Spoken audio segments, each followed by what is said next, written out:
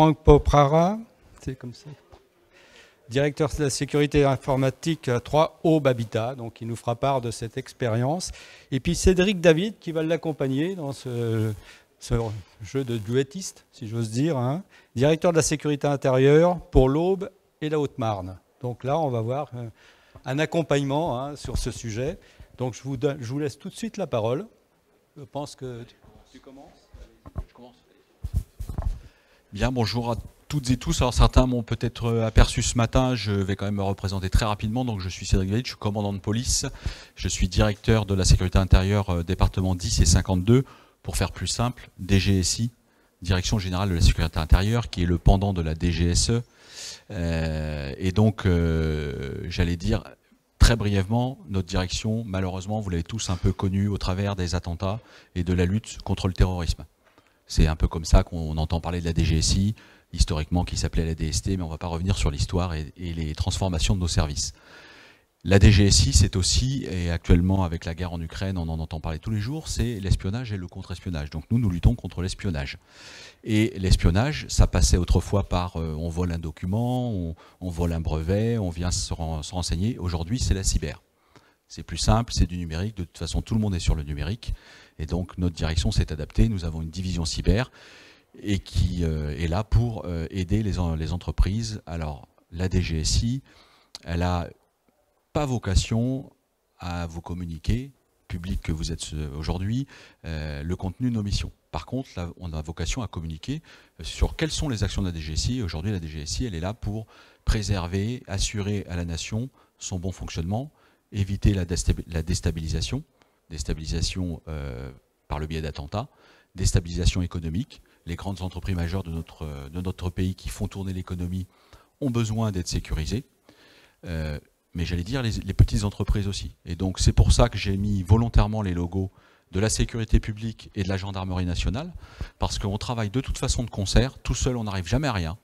Et donc si la DGSI ne viendra jamais directement en aide à une petite PME, une petite PMI locale qui euh, est victime d'une cyberattaque, si on a connaissance de ça, on les orientera vers nos homologues et avec, le, avec la plus grande facilité, car euh, en tout cas ici pour l'Aube, le dialogue est présent tous les jours.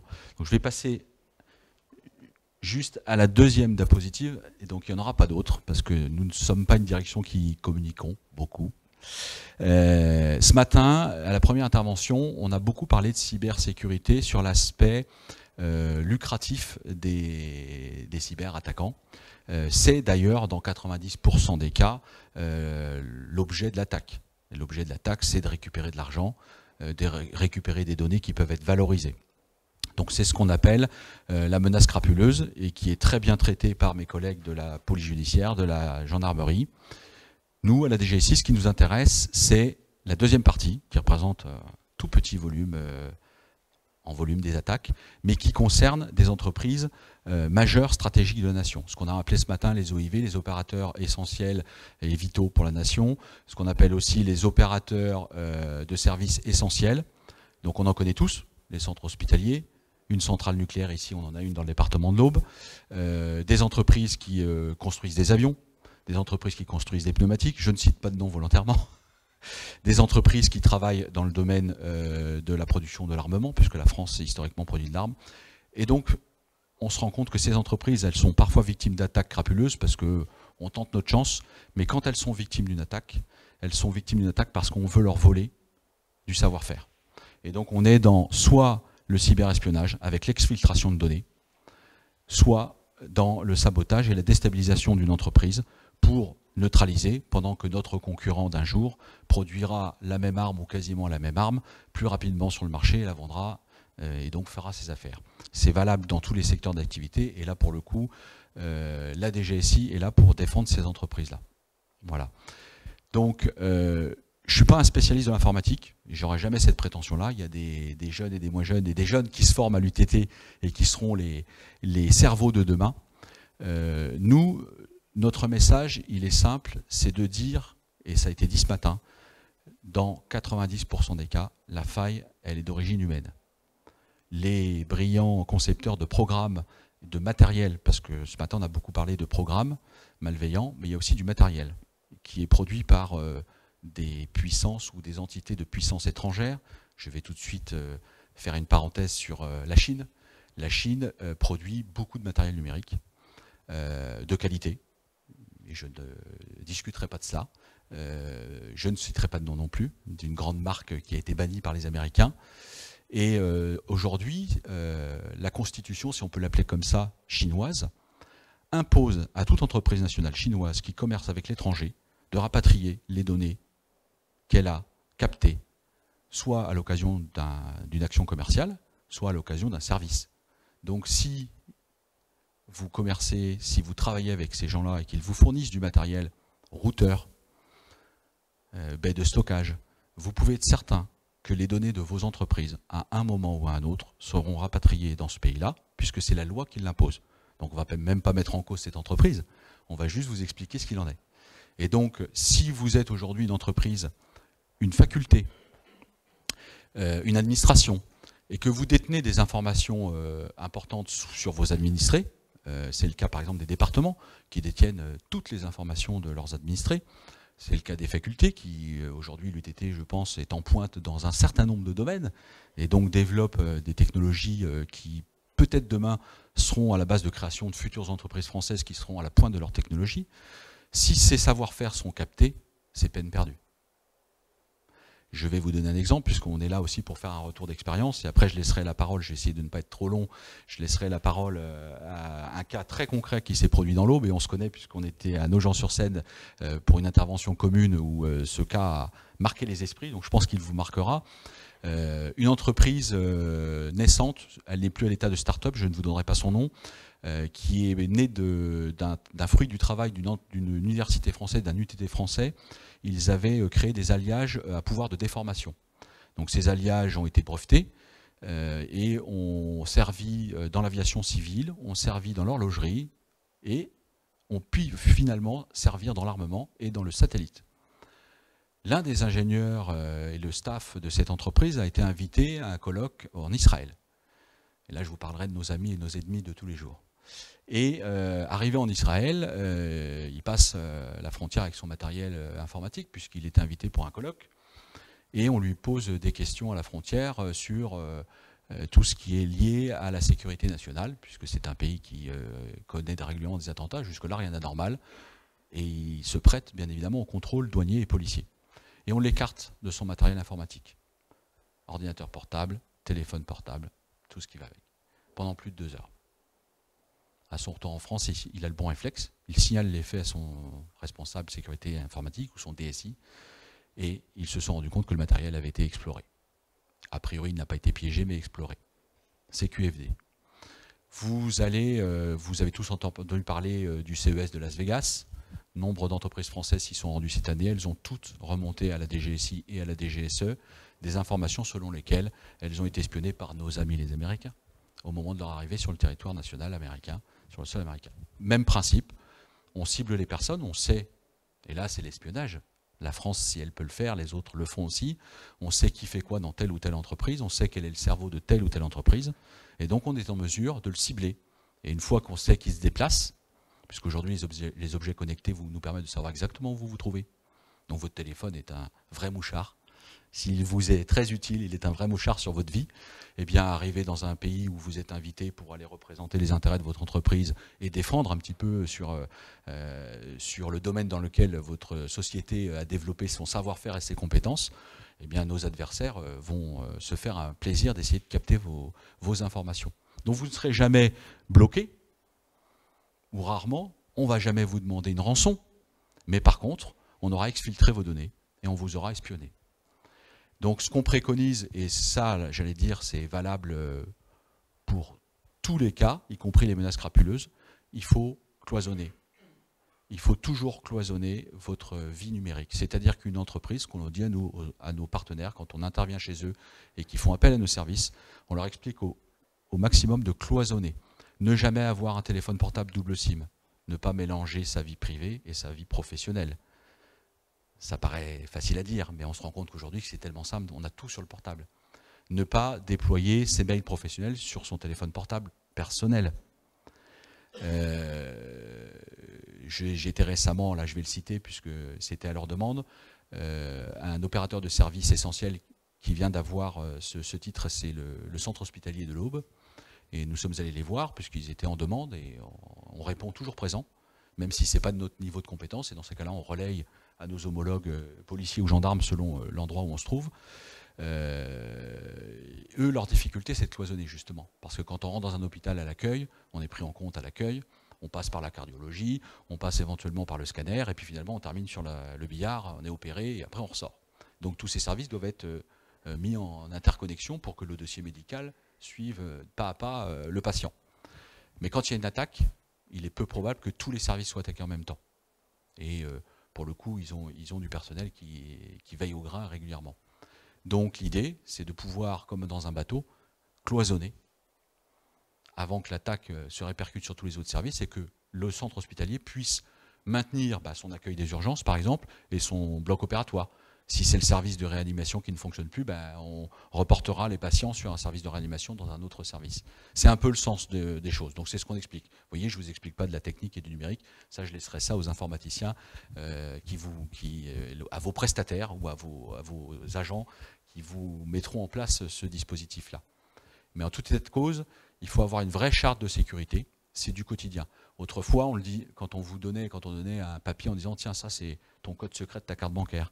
Tiens ça c'est les, plans du futur euh, euh, bâtiment qu'on va construire, mais chute c'est secret. Tiens ça c'est les plans du, brevet qu'on vient de déposer. On vient de déposer le brevet là. On laissait pas ça sur un bureau. Jamais. Donc pourquoi dans le numérique, dans le monde du numérique, on laisse ça finalement accessible? Donc il existe des coffres-forts numériques. Il existe le cloisonnement, donc nous on le préconise. Je vais vous donner l'exemple de notre direction. Moi, vous pouvez m'envoyer un mail, je ne le recevrai jamais. Je n'ai pas le droit au départ de mail. Donc le mail, je le consulte dans mon bureau. J'ai parfaitement conscience qu'une entreprise commerciale qui vit dans le business, elle ne peut pas se permettre ça. Mais il faut s'assurer certaines règles de sécurité. Par exemple, on a, eu une alerte, et je crois que beaucoup le savent aujourd'hui, vous vous déplacez dans les aéroports, il ne faut absolument pas vous connecter au réseau Wi-Fi. Si vous n'avez pas de réseau, vous ne vous connectez pas, vous attendez. Le mail peut attendre. Les réseaux Wi-Fi sont, euh, par principe, épiés et jamais sécurisés. Vous avez besoin de batterie pour votre téléphone portable. Ne vous connectez jamais à un connecteur dont vous ne connaissez pas l'origine. Parce qu'aujourd'hui, techniquement, c'est très facile. Oui, il va charger votre téléphone, mais il va aussi pomper toutes les informations qui transitent. Ce n'est pas un problème. C'est techniquement, euh, je pense que tout à l'heure, ils vous l'ont démontré, ils savent tout faire. Donc euh, je suis bien moins fort qu'eux, mais euh, ils savent tout faire. Et ce que nos services de renseignement français savent faire, nos ennemis ou nos amis savent le faire aussi bien, si ce n'est mieux. Par conséquent, pour préserver vos intérêts, votre entreprise, votre savoir-faire, votre capital, et je vais laisser la main, à moins que vous ayez des questions, mais limite on pourra passer aux questions après, pour faire une transition, vous allez voir que si vous subissez une attaque, que vous soyez une entreprise euh, qui vend un bien ou qui rend un service, vous pouvez vous retrouver à genoux du jour au lendemain. Je l'ai déjà dit ce matin, 40 à 50% des petites et moyennes entreprises ne s'en relèvent pas. Les toutes petites, elles n'ont pas les reins financiers solides et donc elles ne s'en relèvent pas. Et pour les autres, quand elles s'en relèvent, ça laisse un traumatisme euh, qui restera longtemps, je crois. Voilà. Et je vais laisser la main, puis si vous avez des questions, après on pourra répondre à toutes les questions que vous souhaitez. Merci bien. Alors je me présente donc Franck euh, Poprava, je suis donc le DSI de 3 Aube Habitat euh, aujourd'hui et euh, je vais vous raconter donc ce qu'il nous est arrivé le 24 octobre 2021. Je remonte un petit peu dans le temps, on est deux organismes sur, sur l'Aube. qui gèrent du logement social, deux organismes de 11 000 logements à peu près chacun, et euh, la loi nous impose de nous euh, regrouper en un seul organisme. Donc, euh, on a choisi donc de faire la fusion de trois habitats et de Aube Immobilier, qui deviendra donc trois Aube Habitat. Cette fusion, on la prépare, je dirais, dans l'année dans 2020, mais comme chacun sait, il y a quelques petits problèmes qui sont apparus, Covid, etc. Donc, on n'a pas pu euh, fusionner nos deux systèmes d'information, euh, donc euh, les deux systèmes des, deux entreprises cette année-là, et on a reporté le démarrage donc de la fusion au 1er janvier 2022. donc on était en pleine préparation hein, de, transfert de données, de, réorganisation des services. On préparait notre, notre formation des utilisateurs. Et tout, allait bien. On était, voilà, alors beaucoup de travail, naturellement, parce que il y a énormément de choses à faire quand on fusionne deux systèmes, deux, ERP qui, voilà, on représente 10 000 logements d'un côté, 10 000 logements de l'autre. Il faut, il faut regrouper les deux systèmes. C'est relativement euh, conséquent comme travail, mais voilà, on arrive au bout, on arrive au, mois d'octobre. Euh, euh, on vient de faire notre quittancement. Donc pour nous, le quittancement, c'est l'édition des quittances de chaque locataire. On l'a fait le, le 22 octobre tout va bien, on va éditer les, factures, euh, donc ça c'était le vendredi, euh, on va éditer nos factures le lundi matin. Bon, euh, on continue à travailler dans la perspective de cette fusion. On forme nos utilisateurs une semaine après, les plans de formation sont prévus, les équipes sont, sont prêtes, tout va bien. Et puis arrive lundi matin, le 24 octobre 2021. Et là, dès 8 heures, euh, on commence à recevoir beaucoup d'appels au service info qui nous disent mais on n'arrive pas à démarrer ce matin, on n'a pas, euh, j'ai plus accès, j'ai plus, euh, j'ai plus mes données, j'ai plus, enfin j'arrive pas à travailler. On met, je sais pas, 5-6 minutes à se rendre compte qu'on est victime d'une attaque, donc virus. Toutes nos données sont cryptées. Et quand je dis toutes nos données, c'est toutes les données de l'entreprise sont cryptés, on n'a plus accès à rien du tout. Euh, on s'aperçoit très vite que euh, voilà, on peut plus euh, absolument plus rien faire. Nos agences, on ne peut plus même leur téléphoner. Le téléphone tombe. Bon, donc je prends la décision de dire on arrête tous les systèmes et puis on va regarder, on va regarder ce qui se passe, on va redémarrer, on va essayer de trouver d'où vient le d'où vient le problème. Grave erreur, très grave erreur. N'éteignez jamais euh, les, serveurs, les ordinateurs, parce que tout se trouve dedans, toutes les traces se trouvent dedans. Débranchez-les du réseau, d'accord, mais surtout ne les éteignez pas. Alors par contre, euh, voilà, hein, il faut aussitôt se, déconnecter de l'ensemble des réseaux, d'Internet, etc. Mais surtout, ne débranchez pas et ne coupez pas vos ordinateurs. Voilà, donc 9 heures, qu'est-ce qui se passe? Toutes nos imprimantes sont en train de déverser l'intégralité des papiers qui sont dedans. Des milliers de pages qui sont en train de sortir. On ne peut plus arrêter les, les, copieurs, ça sort, et c'est la demande de rançon. Donc on vient d'être euh, attaqué, un virus, euh, c'est Logbit en, euh, en l'occurrence, et on s'aperçoit très très rapidement que non seulement c'est notre système qui est, euh, qui est attaqué, qui est totalement verrouillé, mais c'est toutes nos sauvegardes qui sont également cryptées. On n'a plus de système et on n'a plus de sauvegarde. Donc euh, on est vraiment très très très mal. Euh, à partir de ce moment-là, ben, on met une cellule de crise, une cellule de crise en place. On regarde ce qu'on peut récupérer. On appelle euh, immédiatement euh, donc, euh, nos prestataires pour qu'ils puissent, nous, aider. Alors dans notre malheur, on a deux systèmes qui fonctionnent, donc l'un sur un AS400 qui n'a pas été touché du tout, qui nous permettra ensuite de pouvoir reprendre l'intégralité de notre quittancement. Et puis on a une sauvegarde, une sauvegarde du vendredi soir qui, elle, est toujours euh, active. Elle n'a pas été cryptée, elle est toujours là, elle est toujours présente. Euh, par contre, euh, on ne sait pas si elle, est, euh, si elle est fonctionnelle. Et donc, c'est notre deuxième ERP. Alors, on va voir notre fournisseur, on lui apporte donc notre, notre disque avec notre sauvegarde. On prie, parce qu'il n'y a plus rien d'autre à faire. Et puis on arrive euh, quand même à remonter, euh, remonter une sauvegarde. Donc on a les deux ERP qui continuent à fonctionner, mais vraiment c'est un, hasard euh, extraordinaire. on arrive à pouvoir refonctionner, au moins répondre à nos clients et puis pouvoir préparer la facturation du mois, du mois suivant du mois suivant, mais le reste, toutes nos données, je dirais toutes les données Office, tous nos tableurs, euh, tous les outils de gestion, tous nos tableaux de bord, l'intégralité est détruite. Tout est détruit. Et on repart le lendemain avec un papier et un crayon. Il ne nous reste plus que ça. Alors vous comprenez que c'est euh, relativement euh, déstabilisant, aussi bien pour l'équipe de la DSI que pour la direction, que pour euh, l'ensemble du, personnel. Euh, on se retrouve du jour au lendemain euh, comme des cro-magnons, hein, avec des outils qui ne sont plus du tout efficaces, qui ne fonctionnent pas, et il faut tout refaire. Il faut tout casser et tout refaire.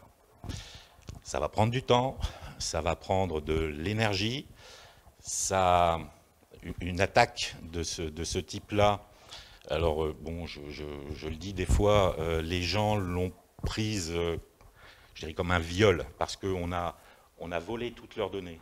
30 ans de données qui sont parties, voilà, qui sont parties en fumée, qui sont plus exploitables. Donc les gens le prennent très mal, c'est vraiment très, très compliqué à gérer, et on repart de rien. Donc on fait notre déclaration à la CNIL, on a, on l'ANSI euh, qui, vient nous aider, on a les services de, euh, l'État qui, euh, nous apportent leur aide. je dirais heureusement, nous avions une assurance. On à l'époque, il n'y avait pas beaucoup d'entreprises comme nous qui avaient souscrit une assurance cyber. Donc notre assureur nous dépêche des équipes pour nous aider à reconstituer euh, notre système d'information et on repart de zéro. C'est-à-dire on a 300 micro-ordinateurs qui sont arrêtés, qu'il faut remédier, euh, donc euh, les formater, les réinstaller un système dessus, réinstaller tous les outils que l'on utilise au quotidien. Dans notre malheur également, mais heureusement, nous étions en train, comme on était en train de faire la fusion, on était passé sur euh, Office 365 euh, une semaine avant et nos boîtes mail n'avaient pas été encore euh, totalement transférées sur Office 365, mais on avait commencé le travail. Donc on a pu récupérer beaucoup de boîtes mail, ce qui nous a permis de récupérer des données qui étaient totalement perdues.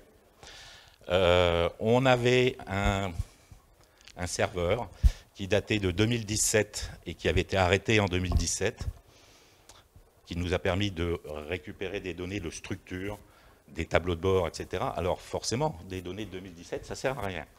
Mais quand on reconstruit un système à partir de rien, on est très content de retrouver des, des, vieux, des vieux programmes qui tournent ou, euh, des, vieux Excel avec, euh, avec la structure. Au moins, on a la structure, il y a du travail quand même qui est, euh, qui est permis à ce niveau-là. Et ben, on commence à faire donc, le, le, travail de formatage de nos postes. donc 300 postes, ça ne se fait pas en deux minutes. on prépare des équipes, on travaille en 3-8. Euh, il y a des postes qui, euh, qui se font en, deux heures. Il y en a qui se font en six heures. Il y en a, enfin voilà, c'est un petit peu un petit peu différent en fonction de ce qu'on remet dessus. Euh, mais voilà, on repart de zéro. Alors à partir de ce moment-là, on, réfléchit avec nos, nos, partenaires comment on repart.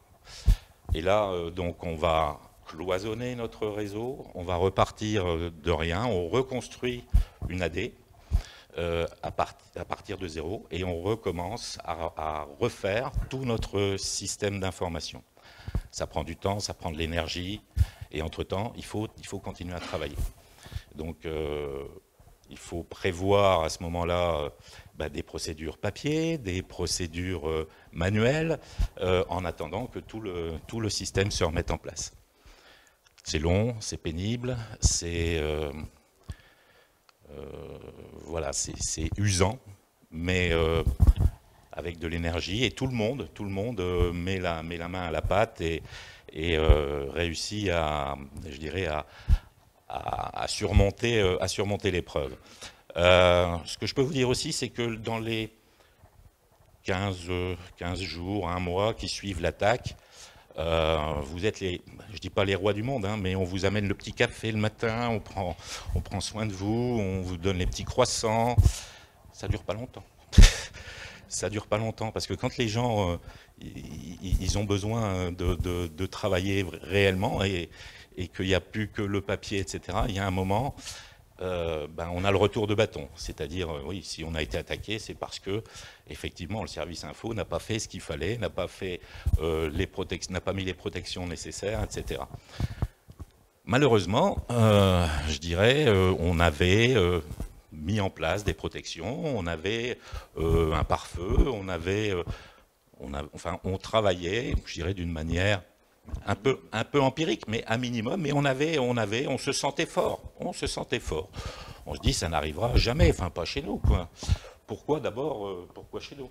Pourquoi euh, s'attaquer à, un organisme HLM Pour déstabiliser, pour avoir une rançon, effectivement. Donc euh, sur, comme je vous ai dit, hein, dans les premières heures, on a toutes les imprimantes qui sortent la demande de rançon. on n'y a pas répondu. Absolument pas. On n'a même pas été voir sur le site. On ne sait pas à combien était le montant de la, rançon. Mais avec la direction, donc, euh, ça a été une chose euh, voilà, sur laquelle on n'a on pas fléchi. On n'a pas demandé de, par rapport à ça. On est reparti à zéro et on a euh, reconstruit la totalité de notre système. ce que je veux dire également aussi, c'est que ça, c'est un bien pour un mal on s'aperçoit effectivement qu'on n'a pas forcément les bonnes sauvegardes, on n'a pas forcément les bonnes procédures. C'est quelque chose qu'il faut euh, remettre sur le, euh, sur le tapis tous les jours. Tous les jours, il faut que vous soyez vigilant par rapport à vos sauvegardes. Vérifiez-les. Une sauvegarde, si elle, est, si elle ne, ne, permet pas de faire la restauration, elle ne sert à rien. Elle ne sert à rien du tout. Et vous pouvez en avoir 10, 15 une centaine euh, en stock, des, bandes de sauvegarde. Si votre lecteur, à ce moment-là, n'est pas capable de relire ce qui a été euh, écrit dessus, votre sauvegarde, elle ne sert pas à grand-chose. Alors, bon, nous, nous avons eu euh, cette, cette chance, c'est d'avoir nos deux ERP qui ont été conservés en état. On n'a pas perdu de données à ce moment-là. On n'a pas eu, enfin voilà, euh, selon les, euh, les analyses qui ont été faites derrière, on n'a pas eu d'extraction de données. Euh, ils voulaient simplement une rançon. Bon, ça fait maintenant depuis 2021, on n'a pas de suite par rapport à ça. Donc effectivement sur le, problème de, de données sensibles, je pense que c'était pas ça qu'ils recherchaient, c'était plutôt vraiment euh, l'argent. Voilà, c'était vraiment crapuleux. Donc c'est très, très déstabilisant, euh, c'est vraiment très compliqué à gérer. Alors, les sauvegardes, c'est quelque chose d'important. Euh, j'avais un système de sauvegarde sur bande, et puis on l'a arrêté en 2017. On avait stoppé ce système-là parce que on m'avait vendu un matériel qui était formidable qui était ah aussi il était formidable, hein. il faisait tout, les sauvegardes, euh, avec euh, des, des, possibilités de retour en arrière, enfin quand on voulait, c'est vraiment formidable. Euh, sauf que ben, les attaquants, ils avaient ben, non seulement neutralisé, ils avaient des codes que même le fabricant n'avait pas pour aller dans, le système. Donc ils ont réussi à crypter la, totalité euh, de nos sauvegardes. Et là, je regrette une chose, c'est de ne pas avoir continué à avoir des, sauvegardes sur bande. Mais bon, c'est un, autre sujet. Donc, forcément, les sauvegardes, c'est la première chose qui pourra, en cas d'attaque, vous permettre de repartir rapidement. Sinon, bah, il faut tout reconstruire. Et reconstruire, ça prend du temps. À l'époque, nous avions, une, assurance. Donc, je, vous l'ai dit tout à l'heure, ils nous ont dépêché du, du personnel pour pouvoir réagir très rapidement. Euh, sachez que donc ils ont pris en, charge pratiquement l'intégralité des dégâts qu'on a subis, donc en termes de, euh, logiciels, en termes de, matériel euh, pour pouvoir redémarrer rapidement, parce que forcément, on a changé beaucoup de choses, on a cloisonné notre réseau, ensuite on a mis en place des systèmes d'authentification à trois niveaux, euh, enfin bref, on a vraiment travaillé sur euh, la partie technique pour euh, espérer ne plus avoir d'attaque et qu'on ait un système qui soit beaucoup plus sécurisé. sachez qu'à l'époque, donc on, avait une assurance qui nous coûtait 5000 euros à l'année. on vient de, prendre la, nouvelle assurance et elle nous coûte 50 000 cette fois-là. Bon, donc euh, vous voyez, c'est de bonne guerre peut-être, mais euh, voilà, c'était des, niveaux maintenant qui sont quand même relativement importants. Euh, on a estimé les dégâts à 350 000 euros. 350 000 euros, c'est peu. C'est peu par rapport à, ce qu'on aurait pu perdre si nos deux ERP avaient, été, euh, détruits. C'est vraiment peu. Euh, on n'est pas à l'abri hein, de aujourd'hui nous-mêmes. On a mis euh, du cloisonnement, on a mis des systèmes d'authentification à plusieurs niveaux, à, deux facteurs, etc. Je ne suis pas sûr qu'on ne soit pas réattaqué demain, la semaine prochaine, etc. On est sûr de rien. Donc il faut se prémunir de cela en ayant des systèmes qui soient euh, bien cloisonnés, des sauvegardes qui soient euh, fortes, qui soient mortes, qui ne soient pas attaquables. Euh, voilà, il faut vraiment, vraiment faire le, nécessaire pour que... alors vous, voilà, vous prenez Fort Knox, hein. un jour ou l'autre, il y aura peut-être quelqu'un qui réussira à aller chercher l'or de, de Fort Knox mais il faut retarder le plus possible l'entrée euh, dans le système. Plus vous retarderez, et je pense que moins les hackers euh, essaieront de, percer le système. Ça leur prendra du temps, pour eux, le temps c'est de l'argent aussi. Donc euh, voilà, plus ils prendront de temps à, à, rentrer, plus vous mettrez des barrières et des verrous, et plus vous aurez de chances de pouvoir passer à côté d'une attaque. Aujourd'hui, on a, je ne sais pas, euh, entre, entre 1000 et 2000 tentatives euh, tous les jours de, pénétrer notre, notre système. Voilà, ça, résiste, mais ça devient notre quotidien.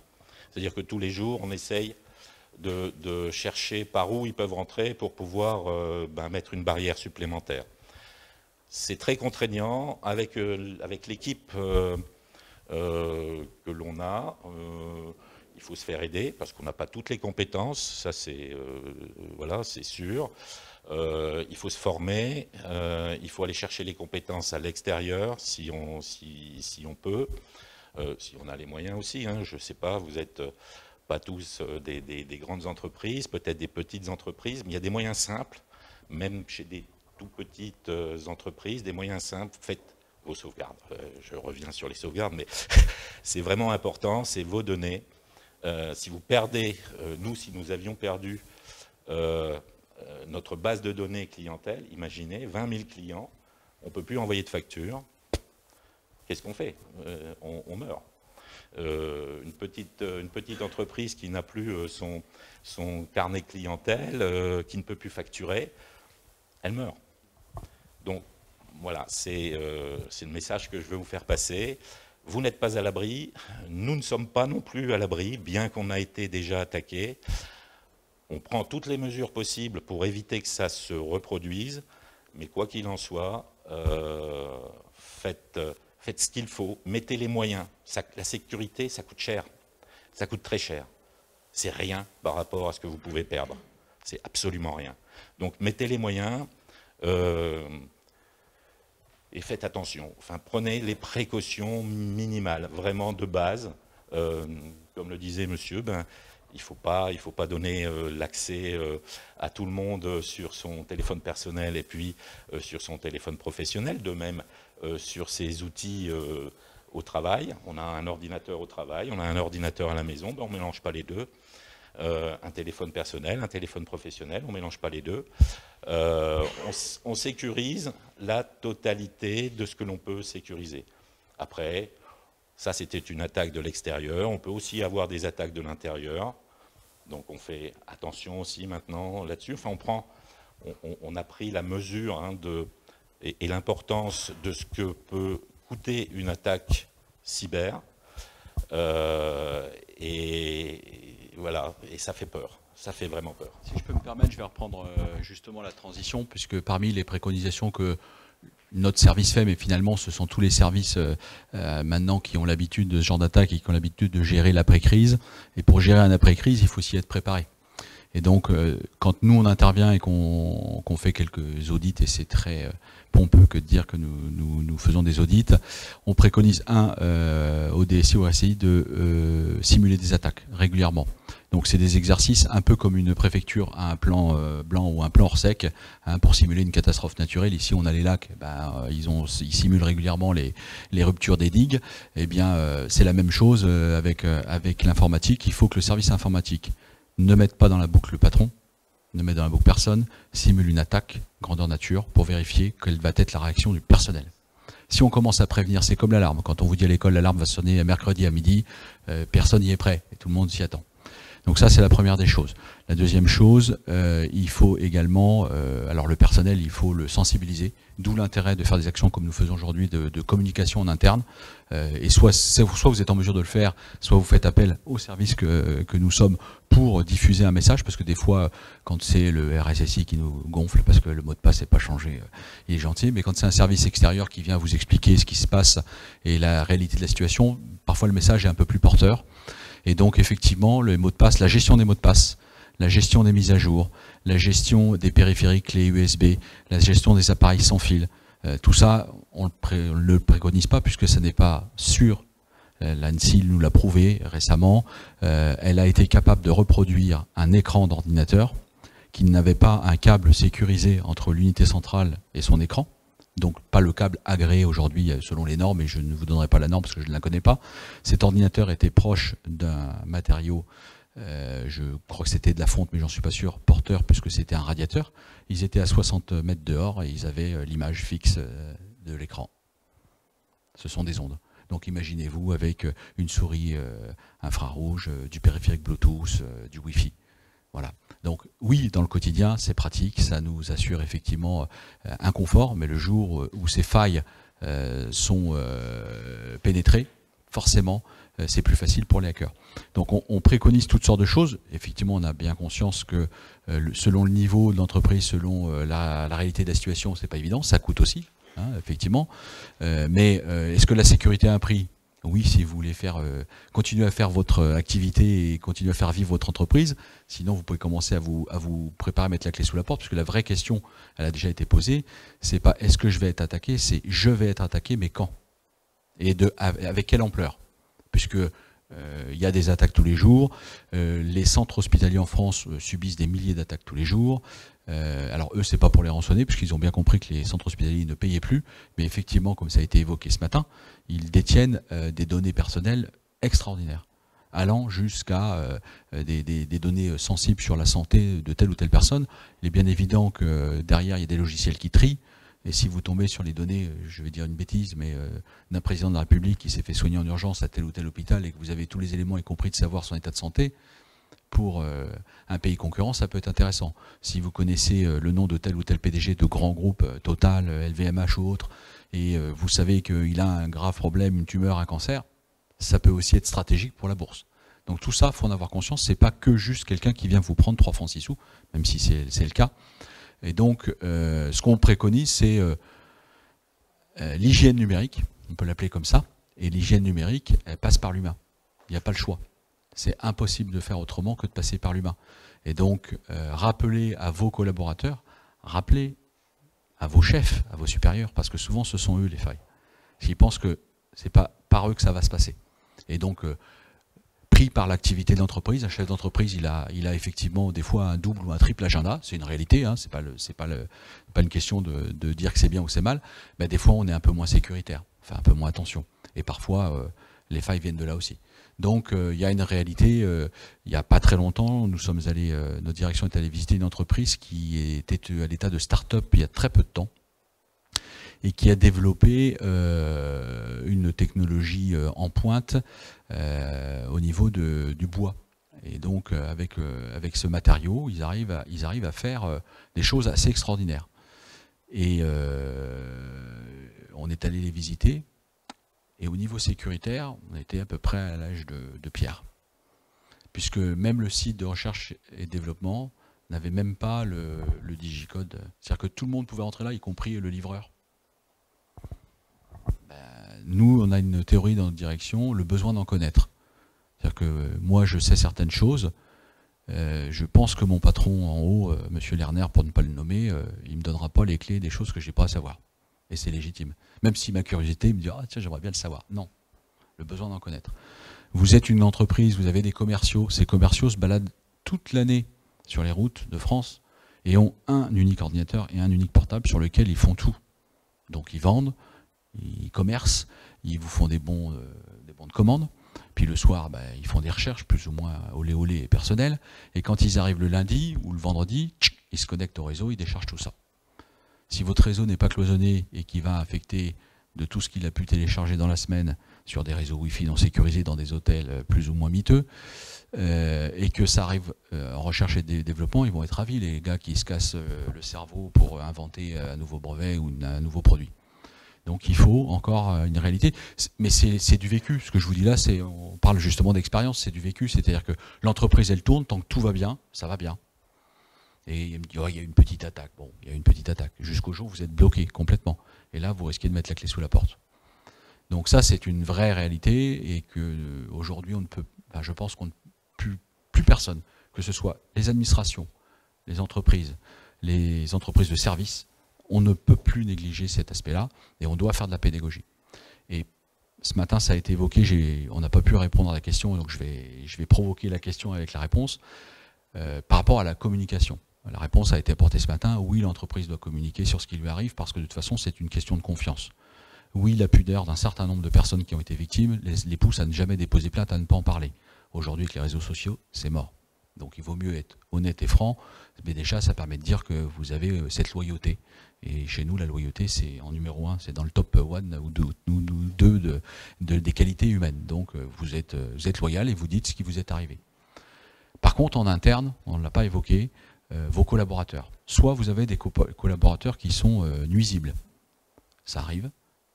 Moi j'appellerais ça un espion, mais pas forcément parfois certains qui pensent à leur carrière et qui se disent qu'en se barrant avec euh, le secret d'État, avec la liste des, des, clients que vous avez, c'est monnayable pour son prochain poste et son futur avancement. Donc il est malhonnête. Et c'est pénalement répréhensible. Mais on a aussi toutes les personnes qui sont négligentes, qui font pas très attention. Et comme encore une fois je l'ai dit, souvent c'est parce qu'on a cliqué sur le lien du rebond. Souvent on a euh, euh, patron, c'est bien vous qui m'avez envoyé ce mail-là? Bah Non, jamais de la vie. Ah, pourtant c'était plus vrai que nature. Euh, psychologiquement, ça peut être un traumatisme pour les personnes qui ont commis cette erreur, j'allais dire, par négligence, qui n'avaient pas du tout une intention de nuire. Et j'ai le cas d'une entreprise que je ne citerai pas où la personne a été poussée au suicide par ses collaborateurs qui ont forcément su que l'erreur venait d'elle.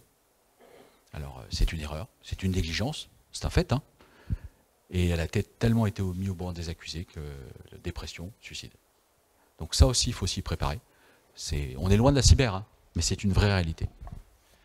Alors par rapport à ça, nous avons mis en place euh, euh, différents outils hein, depuis, euh, depuis l'attaque et notamment des, outils de, de formation auprès de, nos utilisateurs et un outil voilà, qui s'appelle avant de cliquer.com, mais il y en a, a d'autres, et qui permet justement de former les utilisateurs à euh, des, euh, des faux mails, des, euh, voilà, des attaques par, différentes, par différents systèmes, on s'aperçoit malheureusement que quand on a mis en place ce, ce, processus auprès de nos collaborateurs, deux, trois mois après l'attaque, il y, en avait, non, non, il y en avait pas un qui cliquait sur un mauvais, sur un mauvais, euh, sur un mauvais mail parce qu'il les regardait tous un par un, peut-être avec la loupe. Enfin, vraiment,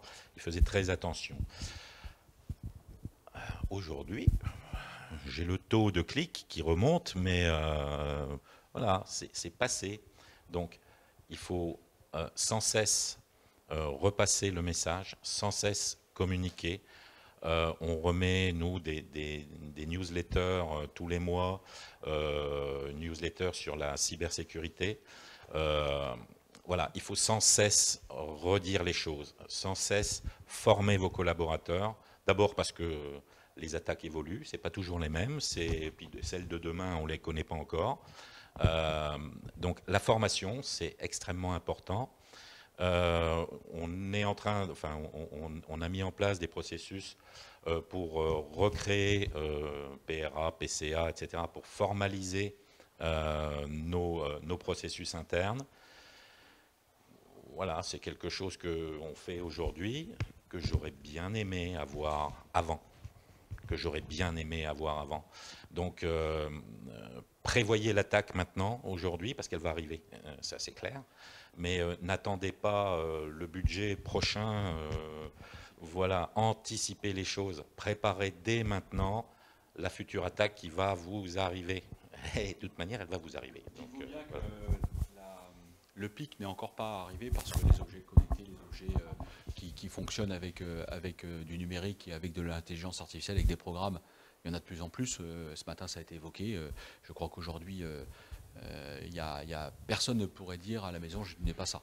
Voilà, jusqu'à la, télé connectée, jusqu'à la voiture connectée. On a tous un, au moins un objet qui vide ça et qui vide donc avec des programmes informatiques, donc avec des failles et donc avec des attaques possibles. Euh, simplement, euh, je pense qu'on est, on est loin du, bout du bout du bout. Et alors pour la France, on a cette particularité, c'est qu'en 2024, Jeux Olympiques. Et donc on va vivre une crise majeure. Donc si parmi vous, vous êtes des acteurs qui allez demain euh, travailler en lien directement, parallèlement, pour, en faveur des Jeux Olympiques, dites-vous bien que si votre sécurité numérique n'est pas assurée, vous êtes mort. Parce que la sécurité numérique des Jeux Olympiques, ça va être, euh, là pour le coup la DGSI est à pied d'œuvre avec la DRSD, avec la DGSE et tous les services de l'État. Mais c'est certain que si vous êtes euh, lancé dans cette aventure, il va falloir vous sécuriser parce que vous aurez, c'est une affiche, c'est une tête de gondole, hein, les Jeux Olympiques. Et donc il y aura forcément euh, ou des attaques, de la déstabilisation, de, l'intrusion, du sabotage, peut-être des demandes de rançon parce que Jeux Olympiques égale argent, et puis aussi, bien sûr, et ça je reviens à ma tasse de thé des GSI, espionnage. Vous allez avoir des délégations étrangères qui vont arriver dans le département de l'Aube. J'ignore encore, et limite je ne pourrais pas vous le dire, euh, quelles, quelles, vont être les nationalités qui vont un peu s'entraîner ici et vivre ici, mais il y en aura. Vous pouvez être certain que si vous connaissez des entreprises, des acteurs euh, qui sont majeurs dans leur domaine d'activité dans le département de l'Aube, vous aurez dans ces délégations des gens qui ne seront pas des sportifs, qui ne seront pas des entraîneurs et qui seront des espions. C'est une réalité. C'est certain.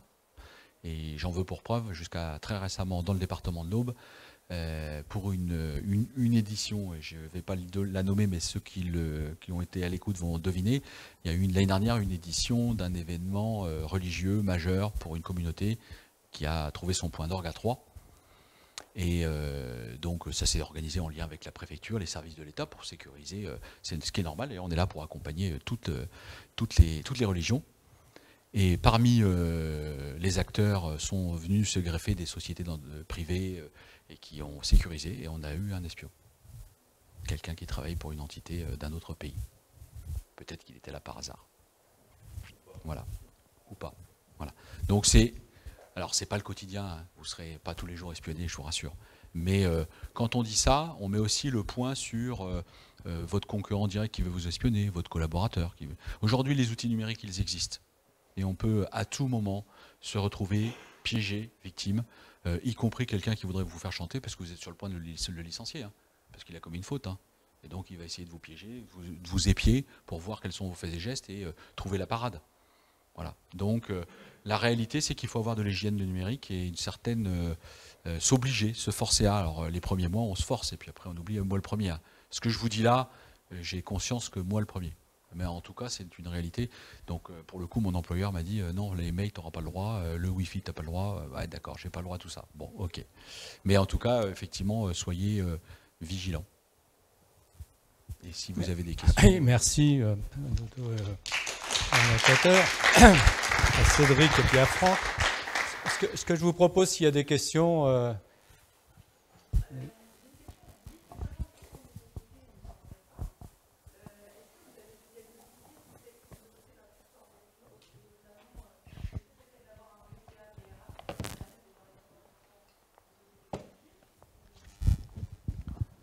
Alors, je vais faire une réponse approximative parce que d'une part, c'est plutôt les services police, gendarmerie qui détiennent ces statistiques-là.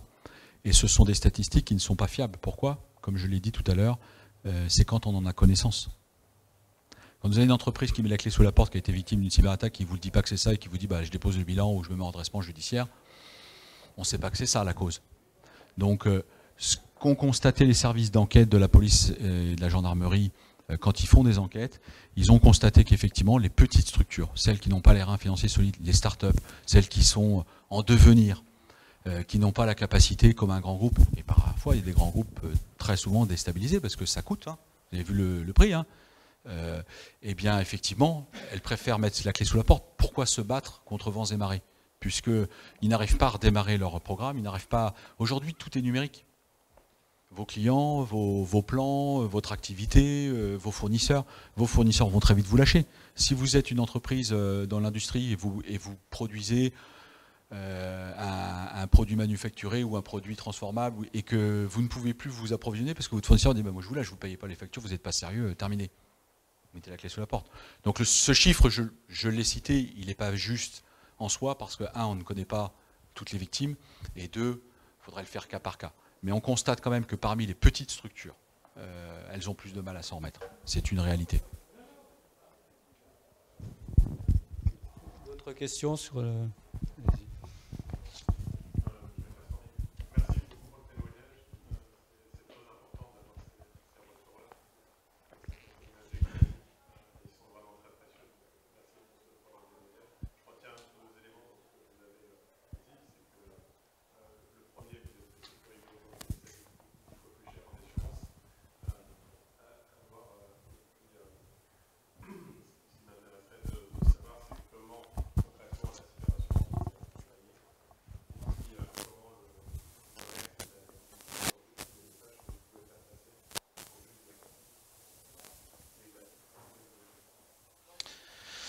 Alors l'assurance nous a aidé en nous dépêchant dès, les tout premiers jours euh, de deux personnes donc spécialisées dans les, dans les cyberattaques pour essayer au moins de, trouver d'où venait la faille.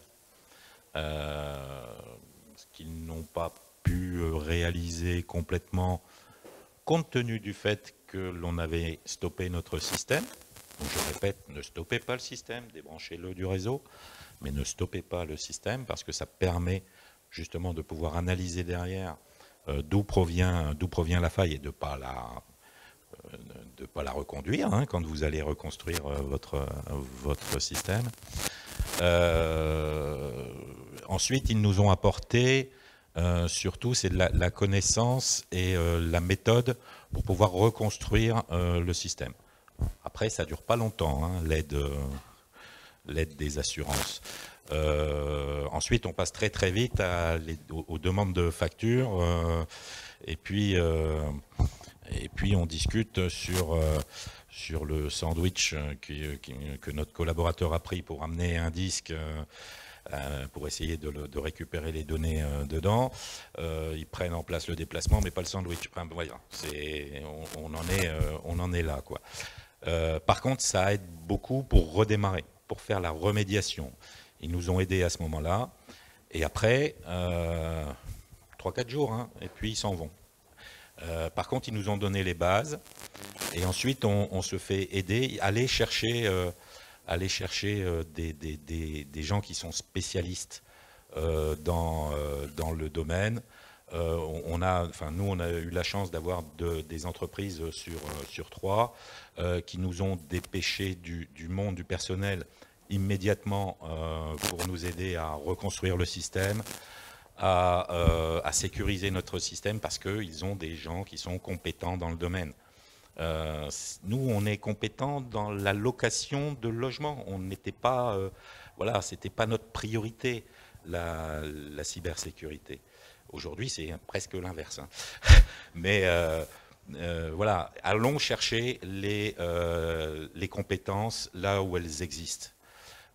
après, voilà, il y, a des entreprises sur la place qui sont hyper compétentes dans le domaine, qui sont capables de nous aider dans, la reconstruction de réseaux, dans euh, la mise en place euh, de, euh, de protection. De, voilà, on a... Ça a été dit ce matin, l'ANSI est en mesure de dans, la région Grand Est au moins, les entreprises qu'elles ont agréées, certifiées, qui, sont des, qui seront pour vous, bien sûr, des collaborateurs fiables.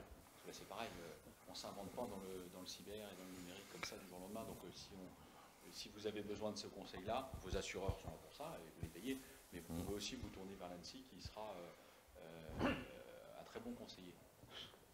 Alors il y a, voilà, il y, a des grandes entreprises, hein.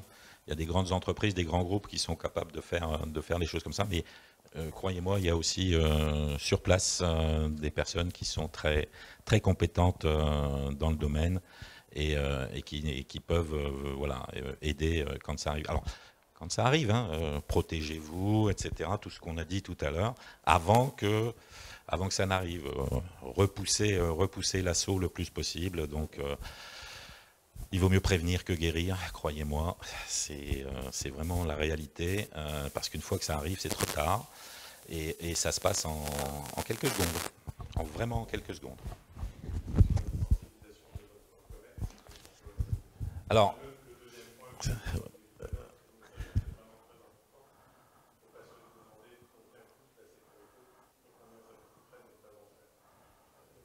Ça, c'est vraiment un point important. C'est un, point important. Alors, euh, je peux vous dire que toute euh, notre direction est, depuis euh, le 24 octobre, très, très sensible à tout ce qui concerne la, cybersécurité. et forcément, je dirais pratiquement maintenant toutes nos actions, enfin tous les processus qu'on met en place dans, l'entreprise sont aussi axés sur la cybersécurité. Euh, mais pas que, sur, nos processus en général, euh, la fiabilisation de nos locaux, les accès, etc. On est en train de travailler justement sur, sur tous ces, ces sujets-là, parce que ben, voilà, ça coûte trop cher quand ça arrive. Euh, et que la sécurité, ça coûte cher avant à mettre en place, mais c'est rien, rien, rien comparé à ce qui vous arrive quand, euh, quand vous avez une cyberattaque. Il faut bien se dire que euh, aujourd'hui, le travail est encore loin d'être fait parce qu'il y, a peu de gens informés finalement sur la globalité, peu d'entreprises, peu, de, particuliers. Et une fois qu'on aura tous mis en place ces quelques réflexes qui peuvent être salvateurs, on ne se fait pas d'illusions, ça a été dit ce matin, les, hackers, les, cybercriminels, ils vivent de ça. Donc ils vont trouver autre chose. Donc il ne faudra pas se reposer sur nos lauriers, parce que les futures attaques, on ne les connaît peut-être pas encore, à moins que les cerveaux euh, ne soient déjà en train de plancher dessus, je n'en doute pas, et quelque part c'est tant mieux, parce que euh, la meilleure défense, c'est peut-être aussi l'attaque, c'est anticiper les choses. Hein, on n'a pas le droit d'attaquer. On n'a pas le droit d'attaquer. Mais en tout cas, euh, ce qui est certain, c'est que quand on aura réussi à monter d'un cran la, sécurité numérique de nos entreprises, de nos particuliers, ça montera d'un cran aussi. Euh, ce parallèle, euh, euh, autrefois il y avait des attaques de banque, maintenant ils n'attaquent plus la banque directement, d'autres systèmes. Bah, là ça sera pareil. Que quand numériquement on sera euh, euh, sécuritaire à un jamais dire bah, c'est y le combat est gagné, et puis bon bah, la, sécurité ça nous coûte cher. Hein, ton poste me coûte cher. Donc euh, voilà. Non, non, il faut témoigner. C'était par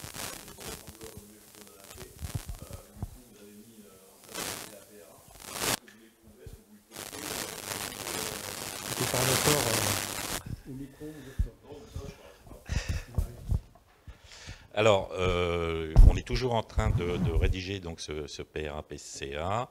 Euh, les premiers tests sont prévus pour septembre. Voilà. Euh, et comme tout, système, tant qu'il n'a pas été testé, il n'existe pas. Hein, une sauvegarde, tant que vous n'avez pas restauré les données entièrement, elle n'existe pas. Donc, tant qu'on n'a pas vraiment tout testé, eh ben, euh, ça, ça, voilà, ça sert à rien. Donc il faut l'écrire, il faut écrire les procédures, il faut les tester, euh, je dirais au fur et à mesure, et puis après réaliser un test grandeur nature. C'est-à-dire que, voilà, on le disait tout à l'heure, on prévient personne, on coupe le système, et puis on regarde ce qui se passe. Et on fait une restauration complète. Et, euh, alors ça coûte cher, hein, ça aussi, ça coûte cher. Et c'est rien, encore une fois, par rapport à ce qui peut vous arriver.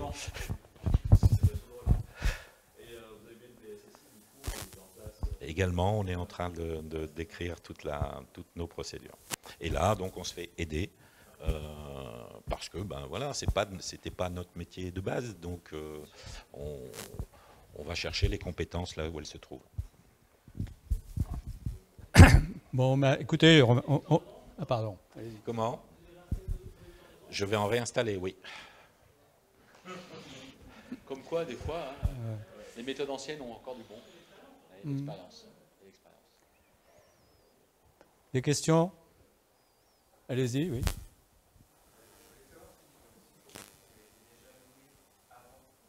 Pas du tout. Pas du tout. Elle s'est montée, elle s'est montée. Voilà, elle s'est montée. Euh, il y a cinq personnes, euh, ça suffit largement parce qu'après euh, ça part dans tous les sens et ça sert à rien. enfin, bah, au niveau d'une entreprise comme la nôtre, 280 hein, personnes, voilà. mais effectivement, il n'y avait pas, avait pas ça. Ça s'est monté bah, le 24 à 9 heures. Oui, oui, oui. Alors la direction a été immédiatement très impliquée. Euh, on a immédiatement également communiqué, euh, on a fait une conférence de presse, euh, tout ça pour rassurer non seulement nos, clients, mais aussi nos fournisseurs. Parce que, voilà, plus, du tout de système, il y a des fournisseurs qui se, posaient la question, mais quand est-ce qu'on va être payé? Parce qu'il y avait a toutes les factures qui sont en attente, qui arrivent, et puis le système bancaire était arrêté, enfin pour nous, voilà, et donc, euh, bon, ils sont assez euh, compréhensifs dans les tout premiers jours. Après, après c'est un peu plus, voilà, un peu plus compliqué. Mais voilà, c'est des priorités. Je veux dire, nous, la priorité, c'était remettre en route le quittancement et, et payer nos fournisseurs. Voilà, ça a été, ça a été cet objectif-là euh, dans, les, dans les tout premiers jours, c'était euh, remettre ça en place. Alors, heureusement, je vous l'ai dit, on a conservé nos deux ERP, nos deux systèmes. Euh, on, a fait la fusion en temps et en heure aussi. Hein, je veux dire, donc, on a un petit peu, un petit peu sué pour y arriver, mais voilà, on a, on a garanti ça. Ce qui, ce qui était totalement impossible à faire si les deux ERP avaient été détruits également, ce qui ce qui aurait pu arriver euh, sans aucun problème. Hein. Ok. Écoutez, merci en tout cas de cette présentation hein, et surtout de votre réaction et de votre retour d'expérience. Je crois que c'est pas facile hein, parce que j'ai compris quand même que c'est. Ah, c'est toujours, c'est toujours d'actualité. Voilà, on va dire ça. C'est toujours d'actualité. Et puis là, on vous a mis quand même pas de quelqu'un qui est qui peut rassurer un peu et qui est présent, je crois, et, de proximité, puisque Aube-et-Marne, hein, c'est Haute-Marne. donc, merci encore, et puis on va donc conclure cette journée. Merci bien.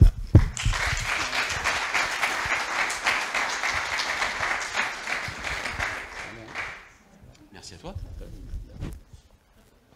Alors, écoutez, d'abord, je vais, je vais quand même, euh, avant de, faire une petite conclusion, je vais quand même remercier euh, euh, les personnes qui sont venues vous exposer des, différentes euh, problématiques. Hein, en cyber, hein, vous avez eu deux tables rondes.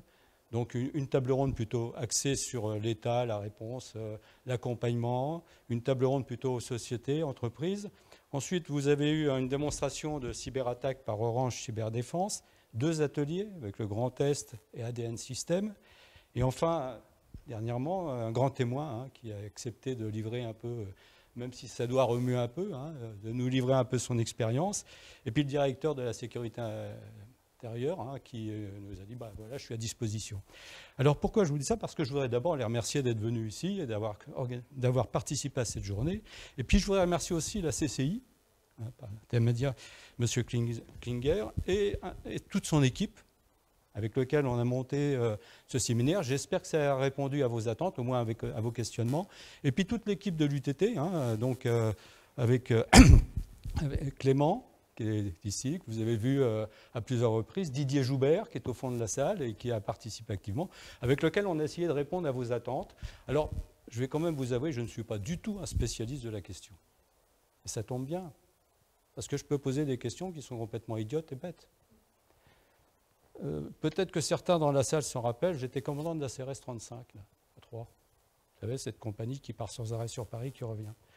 Et puis il se trouve qu'en 95, et tu me le rappelais, en 95, Saint-Michel, le RER, e tout s'arrête. La compagnie à l'époque, c'était celle de Reims, hein, j'étais en activité. Et il a fallu gérer la minute d'après. La minute d'après, il n'y a plus rien. La minute d'après, c'est une gestion de crise. Tout allait bien avant, tout va mal après. À titre de parenthèse, je vous dirais que depuis, hein, on nous a mis Vigipirate, depuis ça n'a jamais arrêté. Depuis qu'on a renforcé avec les militaires euh, le dispositif CRS à l'époque, hein, dans les métros, les RER, etc., Vigipirate, Sentinelle, ça n'a jamais arrêté. Alors ça m'a rappelé quand même de mémoire mauvaise expérience, parce que j'ai travaillé sur le hooliganisme. En 85, le ESL, je ne sais pas si vous vous souvenez du 39 hein, morts, 450 blessés, etc. Le lendemain, le lendemain chasse à l'ennemi. Le hooligan. Miss Thatcher avait un problème à régler avec les mineurs du Pays de Galles, donc en détournant l'attention, elle travaillait sur le hooliganisme. Hein. Elle fait revenir d'Irlande ce qu'on va appeler les hoolicars, c'est-à-dire des véhicules pour traquer le terroriste irlandais, entre parenthèses. Et puis quatre ans plus tard, renversement, accident de foule. On était tellement obnubilé par l'ennemi qu'on avait complètement oublié la gestion du quotidien. Et je crois que la cyber, quelque part, il y a une espèce d'équilibre à avoir, surtout dans les entreprises. Ce n'est pas du tout évident. Cet équilibre à trouver entre la continuité d'activité, c'est-à-dire est-ce que je fortifie totalement mon système, et en même temps eh la libre entreprise, le système pour euh, ouvrir. Alors, il se trouve que j'ai quelques, travaux que j'ai fait avec EDF, etc., etc. Comment je fais? Est-ce que je monte une forteresse? Est-ce que je laisse ouvrir? Ou est-ce qu'à l'intérieur de, mon système, je crée des forteresses? Tout un tas de, problèmes hein, qu'on retrouve. Parce que j'ai pensé à ce qu'on travaille euh, à l'UTT, la gestion de crise. La gestion de crise, c'est en fait le principe de continuité d'activité quand on regarde. C'est comment je traite la minute d'après. Et quand on regarde les ronds-points circulaires aujourd'hui, ben, ça n'arrête plus on n'arrête plus. On est passé du feu rouge ou du feu vert, ordre ou désordre, à un système qui n'arrête plus. Simplement, vous le savez tous, ça m'est arrivé, dès qu'il y en a un qui force, c'est fini. On est tous bloqués. C'est ce qui m'a fait penser cette journée, si vous voulez. C'est-à-dire, on se retrouve dans une situation où on veut vraiment accélérer le mouvement, mais on peut être deux fois plus bloqué qu'avant pour délayer tout ça. Alors je terminerai parce que je ne vais pas monopoliser la parole sur ce sujet. Quand on travaille sur la gestion de crise, on peut dire qu'à peu près on a trois crises qui, se configurent. La crise de rupture. La minute d'avant, raccrocher à la minute d'après. C'est ce que vous évoquiez, hein, c'est-à-dire avoir une mémoire, de façon à refaire partir très rapidement le système. La crise de fracture, généralement environnementale. C'est un nouveau destin. Il n'y a plus rien. On est obligé de tout reconstruire. Et puis la dernière qu'on a eue, le Covid, une gestion de crise qui se transforme en crise de gestion. C'est-à-dire, en gros, je commence à mettre le doigt dans l'engrenage de la décision, et de décision en décision, j'arrête pas, parce que j'ai commencé à payer, j'ai commencé à mettre le doigt dans le système, et je sais que n'importe comment, fatalement, il va me revenir dans le nez un moment ou un autre. Et tout ça nous donne, si vous voulez, quand on, quand on fait une similitude avec exactement ce qu'on peut subir dans la crise. Alors je terminerai en vous disant qu'il n'y a pas de liberté sans normes. C'est pas possible. Au moins que vous puissiez me, définir la liberté. Donc c'est la norme qui définit la liberté. On voit bien que le nouvel espace, hein, le bassin de vie dans lequel on rentre, ah, il est peu normé. Il est dans une situation où la norme est en train de se fabriquer. Vous la fabriquez. Vous la fabriquez parce que vous vivez des expériences. Vous normez le système. L'État suit, essaye de aussi être sur le devant de la scène. Pourquoi? Eh bien parce que on est quand même dans une situation où on a effacé les frontières avec la globalisation. Sécurité globale, 2001-2002. Avec la mondialisation, on a effacé le temps. Avec la nanotechnologie, on efface l'objet. C'est en fait que les trois sphères avec lesquelles on a pu normer les choses sont en train de se modifier en même temps. Et là, je me dis, on a intérêt à être très fort. On a intérêt à vraiment structurer le temps. Et là, je reviens sur la CRS. J'avais à l'époque un lieutenant qui était champion du monde de kickboxing cinq fois. Il était super entraîné. Hein. Intouchable. Face à un bagarreur de rue, intouchable. Donc je me rassure un peu parce que je me dis que plus on s'entraîne, plus on se prépare à la surprise, plus on évolue dans ce cadre-là, et plus on sera fort face aux menaces extérieures. Et c'est sur ce sujet que je voudrais terminer en remerciant vraiment la CCI du concours qu'on a eu pour cette présentation. J'espère que ça a rempli votre journée et je vous remercie d'avoir assisté à cette journée et je vous souhaite à bientôt.